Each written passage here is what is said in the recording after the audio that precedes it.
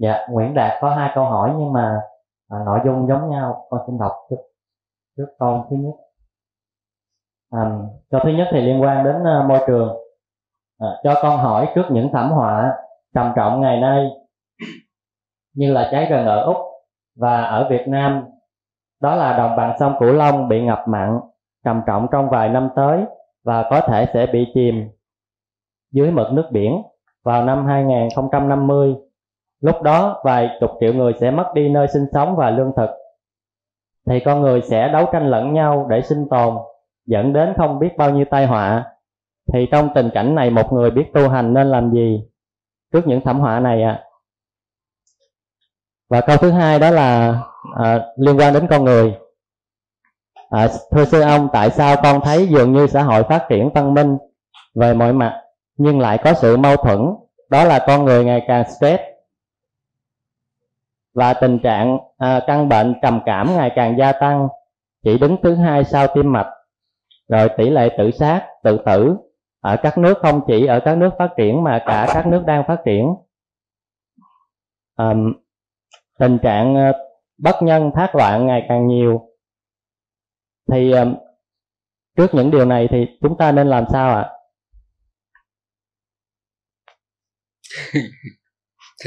trước đây cái đó thì lo tu hành là đúng nhất cái chứ sao nữa.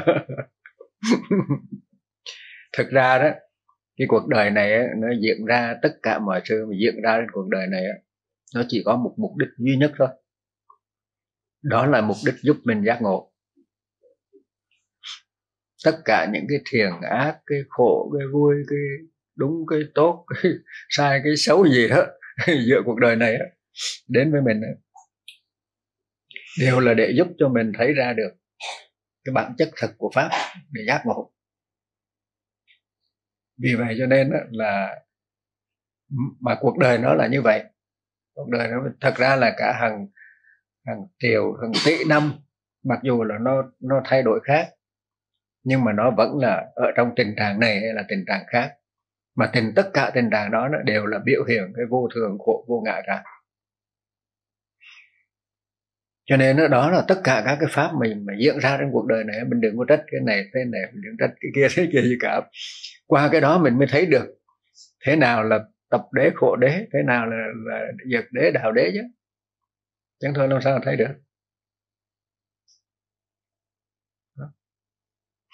Cho nên cho nên là nhiều khi mình là cứ muốn cuộc đời này làm sao. Có nhiều người thì cố làm sao mà biến cuộc đời này trở thành thiên đàng đó. nhưng mà thật ra những cái nỗ lực đó từ hàng hàng thiên niên kỷ này qua thiên niên kỷ khác, chưa ai làm được cả. Là bởi vì sao? Là bởi vì cái cuộc đời này sinh ra để giúp mình giác ngộ. Chứ không phải là mình, chứ không phải mình sinh ra để mà mà mà ổn định cái cuộc đời này.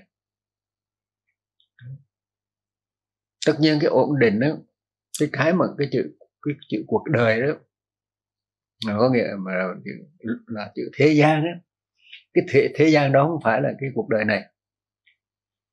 Mà thế gian là cái mà mà mỗi người tạo ra trên cuộc đời này. Tức là mình nhìn cuộc đời này như thế nào đó đó thì cái mà cái mà cái nhìn cuộc đời của mỗi người đó là một là mỗi cái thế gian. Chứ còn cái thế giới này nó không phải là thế gian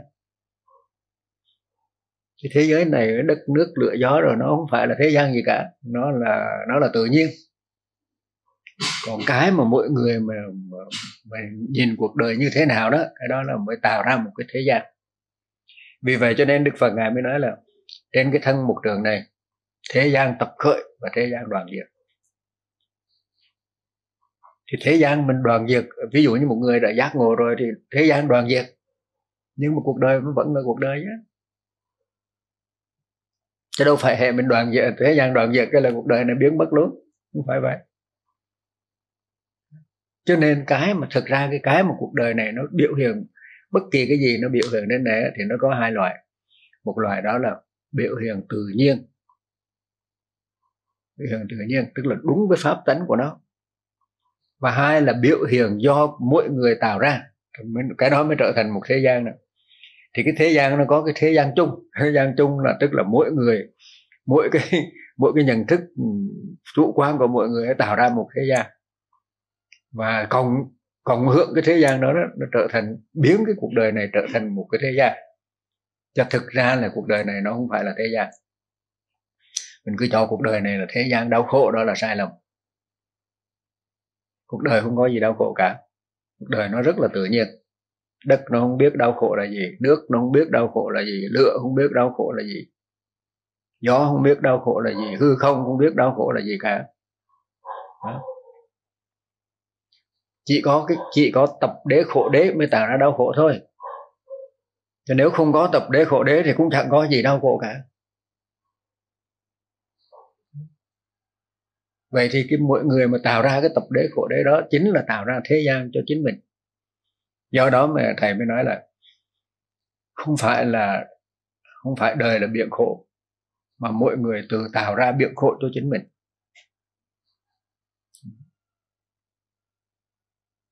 Phải không? Đúng không?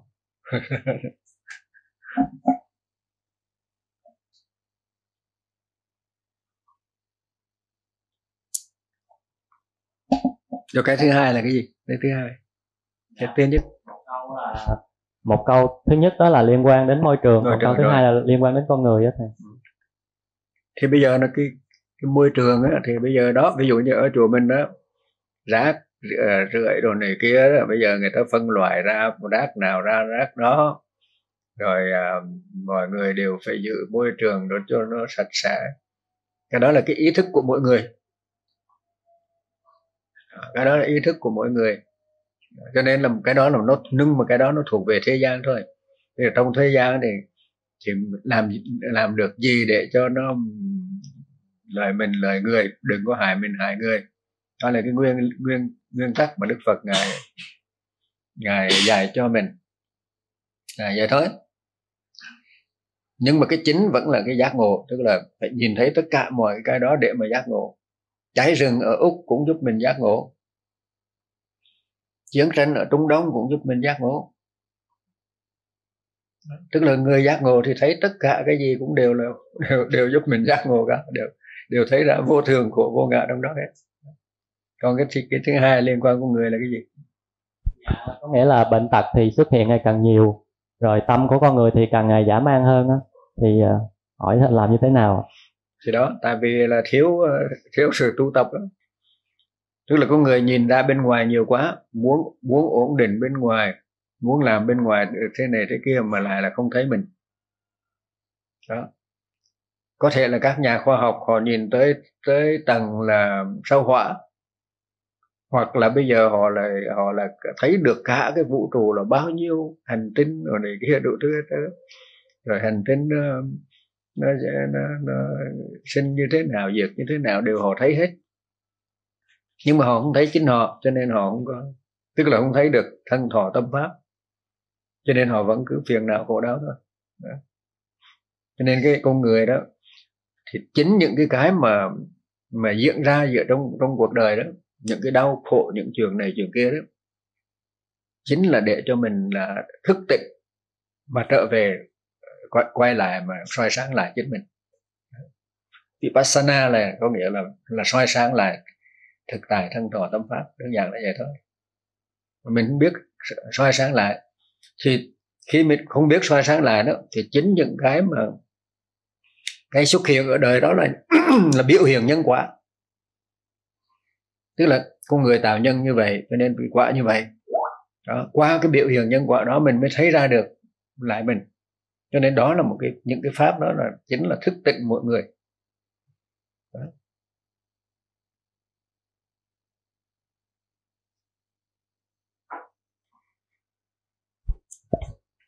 dạ à, phật tử tánh tâm xin hỏi là thường pháp là gì ạ Ừ? thường pháp à? thường cái thường thường thường ấy.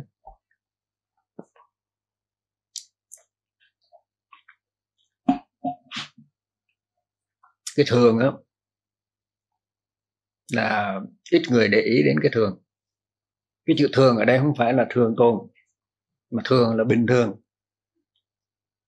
thật ra cứ cứ thấy bình thường thôi. Cứ thấy ờ, thấy nghe người nếm tất cả mọi cái đều bình thường thôi chứ đừng có đừng có làm gì ờ, ghê gớm hết trơn thì chính cái bình thường là đạo. Thì thường thường á, mình nói là tu là mình cứ nghĩ rằng là mình tu cách nào đó để đạt được một cái gì đó phi thường. Nhưng mà thực ra là chính là thấy ra được cái bản chất của cái bình thường đó. Cái bình thường là trong đó là nó đã đầy đủ tất cả đạo ở trong đó rồi. Tất cả chân lý đều là ở trong cái bình thường hết rồi. Nhưng mà mình lại cứ mơ mơ mơ mộng cái phi thường. Chính vì vậy mà mình không thấy ra được cái bình thường. Đó.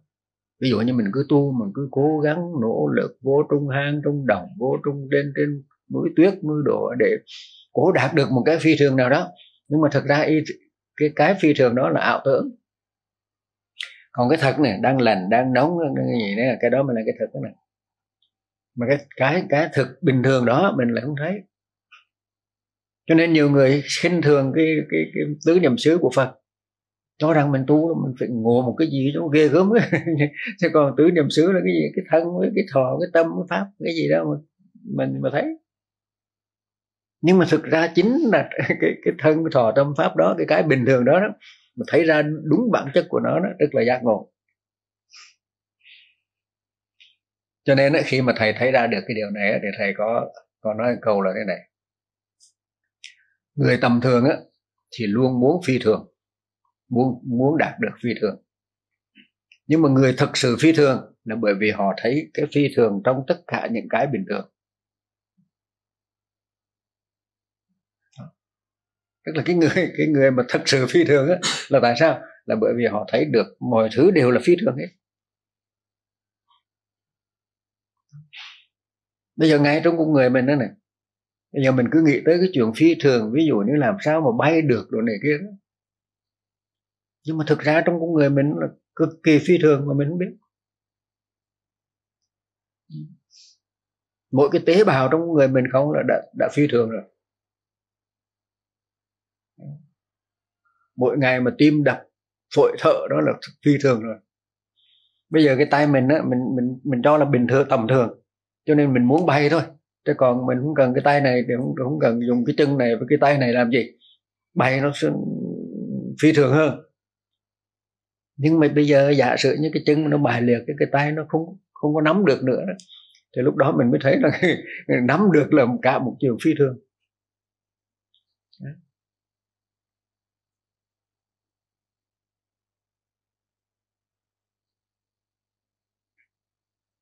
Nhưng mà cái cái cái phi thường nhất chính là cái tâm bình thường trên tất cả mọi thứ. Tức là cái tâm bình thường để đủ có thể thấy được tất cả mọi thứ như chân như thật. Đó là cái tâm bình thường. Đó. Và tâm phi thường ấy, là biến nó nó nó nó thành phi thường tầm bậy tầm bạ trở là ảo tưởng. Xem nó là tầm thường ấy, là cũng không được.